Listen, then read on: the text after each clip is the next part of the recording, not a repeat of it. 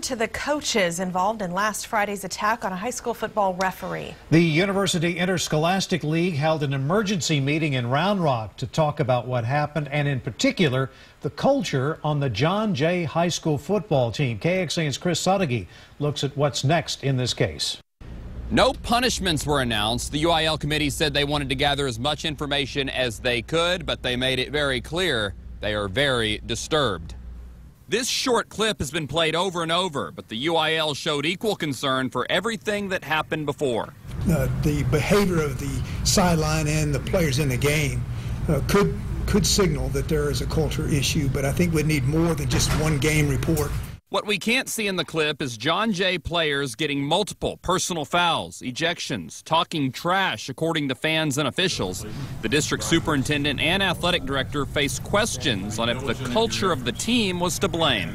We don't believe the actions of those two young men are representative of the rest of the of the student athletes on that football team. So what were the coaches doing as things spiraled out of control? That's one of several investigations into this incident internal, external, even criminal. There's going to be continued investigation with that entire coaching staff of what transpired that night. One coach has already been placed on leave, and the UIL said there will be plenty of review, not just for the kids, but of the adults. It'll be at least a couple weeks before the UIL is ready to announce any punishments, but Northside ISD has said they've already suspended those two players from school and will hold those disciplinary hearings very quickly. In Round Rock, Chris Sadeghi, KXAN News.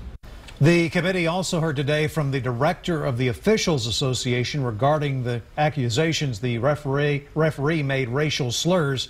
The association said once a formal complaint is received, they will begin their investigation by interviewing the officiating crew. The UIL also wants to know what the crew did to keep things from getting out of hand that night.